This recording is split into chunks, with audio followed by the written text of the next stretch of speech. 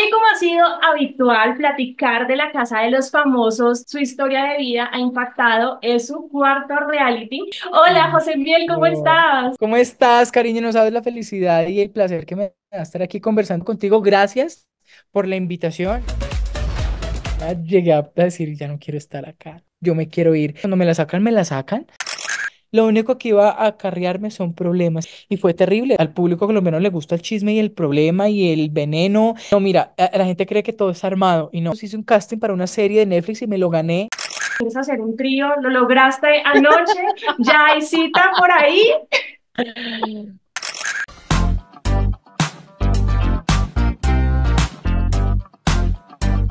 Soy un amante empedernido total de estar encima de un escenario cantando, bailando y actuando. Te ganaste el cariño de la gente y algo que me encantó de ti es esa sonrisa. Quería verte más allá, pero qué lindo tenerte en este espacio. Mi amor, nada, gracias por esas cosas que me dices. Y sí, algo que me caracteriza muchísimo es mi sonrisa y mi felicidad de siempre. Yo soy un ser humano muy tranquilo, muy pacífico en muchas cosas. Cuando me la sacan, me la sacan. Pero yo, a nivel personal, se los digo a todos mis compañeros, no se ponen la 10 todos, yo no tengo por qué recoger el reguero que no he hecho yo.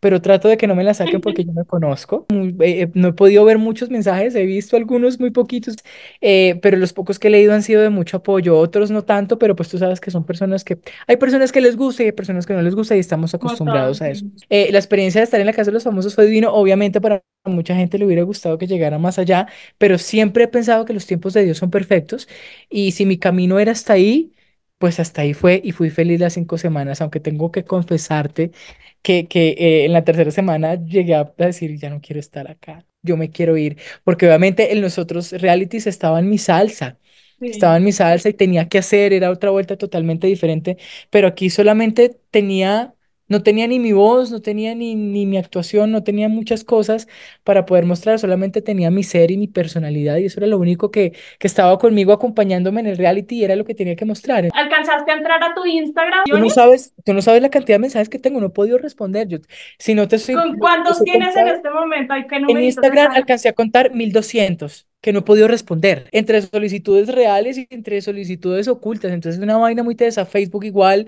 eh, WhatsApp y salir obviamente al mundo y, ver este cariño también es muy bonito, ¿sabes? Es, es- es- yo creo que es el mejor regalo y reconocimiento a tu trabajo y al trabajo que se hizo en la Casa de los Famosos. Entonces eso es bien bonito para mí, la verdad. Esto, como se ha dicho, pues es un experimento social, ¿no? Y como tú has venido mencionando, ha sido el reality más pesado, el más difícil, ¿no? ¿Con qué te estrellaste? ¿Cómo llegar a decir, este José Miel, esta faceta, no sabía que la tenía? Siempre he sido una persona muy respetuosa, pero no pensé que fuera a ser tan tolerante con muchas cosas. Yo no pensé que fuera a ser tan tolerante con el hecho de compartir baños con mis compañeros, porque además solo habían tres baños, tres duchas. Eh, no pensé que fuera a compartir el hecho de que mis compañeros roncaran, a compartir el de- desorden que yo lo odio, eh, la cochinada de la cocina, y, y me tocaba, sí o sí, ser tolerante porque donde yo estallara con eso, lo único que iba a acarrearme son problemas y situaciones complicadas. Entonces entendí que también la prudencia y callarse también algunas cosas te evitan muchos problemas y, yo quería estar también tranquilo, relajado. Qué pereza la problemática, qué pereza, el problema. Y desafortunadamente tengo que decirlo, al público colombiano le gusta el chisme y el problema y el veneno y la relación aquí y este hizo con este y, les encanta ese bololó, pero yo no sirvo para eso. Mira, la gente cree que todo es armado y no, no arman absolutamente nada, todo es totalmente real y genuino.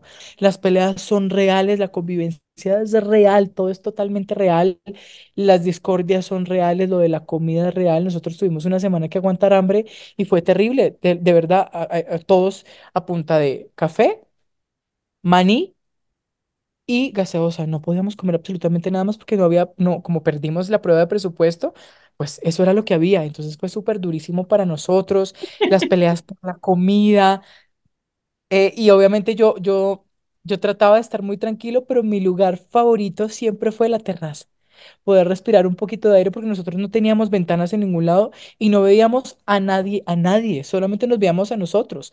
La gente que trabaja en producción está totalmente escondida, no nos dejaban ver absolutamente con nadie y solo escuchábamos la voz del jefe, no ni lo veíamos ni nada. Forma el hecho de estar totalmente encerrados, sin familia, sin nada, era, era complicado. Entonces, uy, era muy duro, fue muy teso.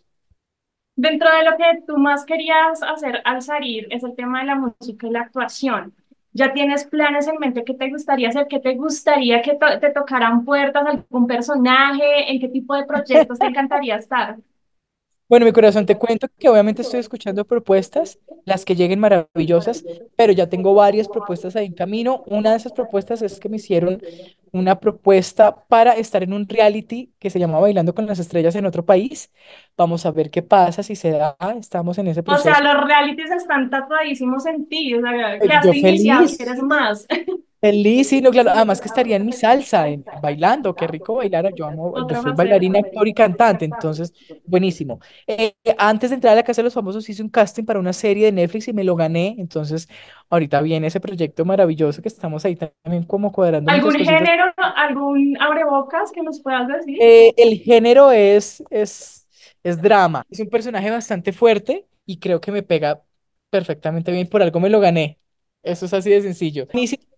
Que es una de las mejores escuelas de teatro musical, está con algo que se llama eh, Mamma Mía, que es un musical que lo hizo el año pasado y lo quieren volver a hacer este año. Y ya me habían hecho la propuesta de, de que si quería estar con un personaje para una persona que no iba a poder hacerlo. Entonces vamos a ver si lo podemos lograr hacer. También posiblemente vuelva a escena La hija del mariachi, el musical de RCN. Que fue maravilloso y obviamente quiero empezar con- y que además quiero también empezar mi carrera musical, quiero empezar a hacer mi propia música y lanzarme como solista, eso sería maravilloso. Tengo un gran problema, no lo veo como problema, yo creo que es una vaina complicada con la comunidad LGBTIQ+, porque ahorita estoy siendo muy atacado por eso.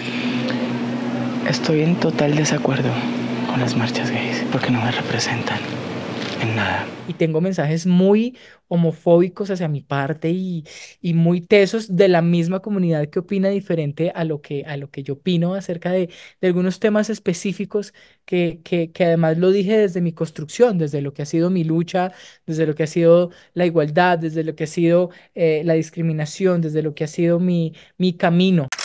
Y bueno, ya para terminar, ¿hay algo jugosito que si saliste, quieres hacer un trío, lo lograste anoche, ya hay cita por ahí? Pues te cuento que la cita es para esta noche, así que ahorita más tarde me alistaré. Candela, divino, muchísimas gracias por este espacio. Vamos a seguir súper pendientes de tu carrera. Queremos seguir viéndote en la televisión ahora. Ya en Netflix, escuchar con tu música, tu talento es increíble y nada, sí, ignorar todos los comentarios, siempre pensar en esos positivos que somos más los que te admiramos. Qué lindo Total. ser eres y bueno, muchos éxitos. Ay, mi amor, te mando muchos besos, muchos abrazos. Gracias por esas palabras tan lindas. Gracias por esta entrevista tan linda. Qué linda conversación. Gracias por el apoyo, por lo bonito que tienes para decirme, lo que aquí en el corazón. Y de verdad que, que estoy muy agradecido por, por, por la oportunidad de estar aquí en esta entrevista y porque me hayas entrevistado. Y como Maritza Ariza se los garantiza, pues sigan ustedes pendientes de la Casa de los Famosos y a seguir en todas las redes sociales a su José Miel para que ustedes se sigan encantando con este talento y ese carisma que arrolla. Te amamos, José. Hermosa, un besito. ¡Mua! Chao.